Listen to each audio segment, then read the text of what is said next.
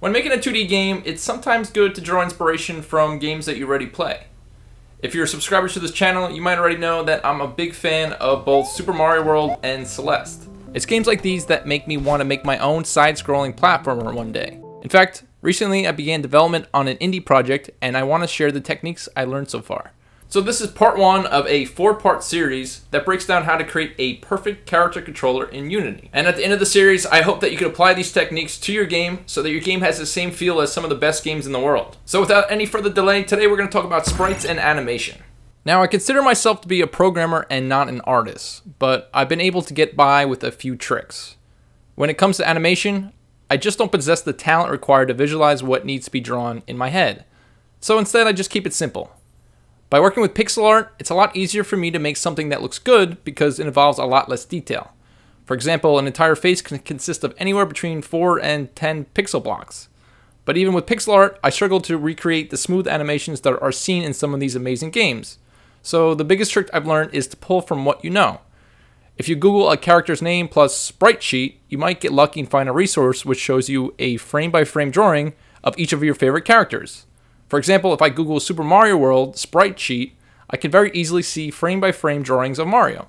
Now, hopefully this goes without saying that you shouldn't use or even trace this artwork for any commercial production, but it's okay to use this as a guide when you're first starting out. For me, I like to look at something to see where the legs and hands should be positioned when drawing out my animation. And once you have a nice guide, the next step is to start drawing. Personally, I like to use a software called Aseprite which you can play around with for free before purchasing. It won't let you save any of the files, but the full version only costs around $14, and personally, I feel like that is totally worth it. Although, if you don't have the money to spare, any art program would be fine. For now, I'm going to work in Photoshop to cover some of the basics. When you create a new document, you want to consider world dimensions. By this, I mean how does your character compare in size with the background and other elements in the scene. For my game, I use tiles to populate my scene, so I want my character to be about the same width as one of these tiles. If you're just starting out, I recommend making your character fit in the dimensions of one block wide and two blocks high. For pixel art, I recommend one block being 32 pixels, so a good starting canvas would be 32 pixels wide and 64 pixels high. In Photoshop and most art programs, you want to use a block style brush to draw your character. Since it takes me days and sometimes weeks to draw out a sprite sheet, I'm not going to show you that process here, but I'm going to open up a file I've used in the past to show you how you should set up the file. Right off the bat, it looks like my frames are sort of randomly placed, but there is structure to how I have it set up. For this file, I wanted my character to be 40 pixels wide by 80 pixels high. In Photoshop, you can set up a grid to see this more clearly by going to Preferences, and then Guides, Grids, and Slices. Then under grid, you want to change the value for grid line to equal one block size. So for this document that happens to be 40, and go ahead and set subdivision equal to 1. Then go to view and then show and make sure grid is selected. This should now create grid lines for you to work within. My only additional note for this is to make sure your character is aligned to the bottom of each frame this is so that when gravity is applied, your character is properly aligned to the ground. Now, the animation part is where I prefer to spend the $14 to buy Aseprite. The first time I did this file, it was hard to visualize how my animation was coming along while I was drawing it. But with Aseprite, they have a lot of cool tools to help you with this. The first one, and my personal favorite, is the onion skin tool, which allows you to see a sort of watermark of the previous frame as you draw over it. And my second favorite tool is the little preview window in the corner that lets you not only see an actual size version of your character, but allows you to preview your animation in real time while you are drawing. Lastly, it takes the hard work out of setting up your sprite sheet by offering you several different ways to export and save your files. So once you have drawn and completed your character sprite sheet, the next natural step is to import this into Unity. This can be accomplished by simply dragging the files into your project window. For my character sheet, I decided to break down each of my idle states into different files. I frankly did this for organization, but it's generally better practice for optimization to keep this all in one file. Once imported, be sure to highlight the file to open its settings in an inspector window. The first thing we want to do is adjust the pixels per unit value. This is equal to the amount of one block that we discussed earlier.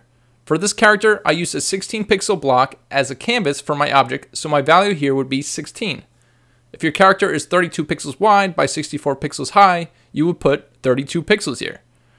For files with multiple frames on one sheet, you would want to change sprite mode to multiple, and then go ahead and click the sprite editor button. This opens a separate window that allows you to slice your file into multiple assets. Since we made each frame the same dimensions, I want to simply go to Slice and then change type to Grid by Cell Size. Here, you'll want to enter a single frame's dimension. For me, this happens to be 16 by 18, and then go ahead and click Apply. And if you're working with pixel art, be sure to change filter mode to point no filter and set compression to none. This makes sure your pixel art stays crisp at any resolution. Then in your project window, you should see your frames separated as individual game objects. So now I'm ready to turn these into animations. First, let's go to our scene view and create an empty game object. Let's label this player and reset the transform. Then let's create another empty game object inside this game object. This is going to act as an offset object when we program our jumping animation, which we will discuss later. Let's just label this character holder and then set the transform to be negative 1 for the y value. And then lastly, let's create another game object inside this child object called character animation and let's set the transform to be positive 1 for the y value. Again, it'll make sense later why we set it up this way. Once all that is created, we can now add a sprite renderer component to our character animation object. Then go ahead and open up your animation window by going to Window, Animation, and then select Animation. Then with that open, click the button that says Create. This will prompt you to save an animation file in your project. Be sure to label this to describe the current state you want to animate. Since I'm going to animate the running state, I'll just save this as running. Next, I want to expand my running frames and then just go ahead and drag them into the animation window. This immediately creates a frame by frame animation that you can preview by pressing the play button. To change the speed of the animation, you can reduce the sample rate to a number that works for you. I happen to like the number 14 for this animation.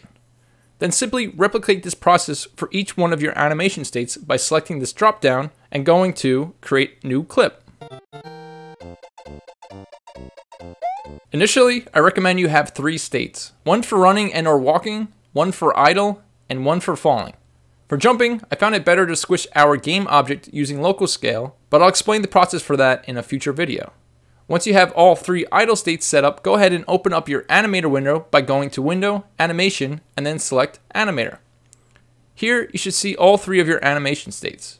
By default, you should make sure your idle state is set as layer default state. Then to transition between these different states, we want to set up animation parameters. If you click the plus symbol, you'll see a drop down of different parameters you can create. For now, I just want to create two floats, one called horizontal and one called vertical. These values can be used to track velocity or controller input. So for this example, I'm just going to use it to keep track of controller input. So let's go back to our player object and add a new C-sharp script called character controller.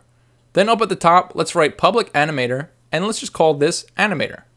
Then in our update function, we can modify the values of our animator parameters by writing animator.setFloat. For the first parameter, we need to write the name of our parameter in quotations, so let's write horizontal, and the second parameter is the value we want to set this as. For example purposes, let's just set this to input.getAxis and then put horizontal. Then let's do the same thing for vertical, but let's set the value to input.getAxis and then vertical. Now if we save the script and go back into Unity, and then select our animator object in the inspector and press play, we should be able to see these values change in our animator window when we move the joystick around on our controller or if we press the arrow keys down on our keyboard. With that set up, we can then right click to create a transition between animation states. Simply drag the arrow to where you want to transition from. Once selected, you can visualize the transition in the inspector. If I highlight a transition, I am then able to set conditions about how I want this transition to occur. So to transition from an idle state to a running state, we want our horizontal to be greater than a value of, say, 0.5. Then to transition from running back to idle, we just repeat these steps, except this time let's set the value to less than 0.5. But since we want this to work in both directions, we actually want to adjust our horizontal value to equal the absolute value of our controller input. So let's go back to our script and wrap our code in a mathf.abs function. When we press play and then use our controller input, we should see our character go from an idle state back to a running state and vice versa. And then to trigger our falling animation, we just need to set up a transition from both running and idle where the condition is set so that our vertical value is less than zero. This would indicate we are moving in the downward direction. And that's basically it for this video.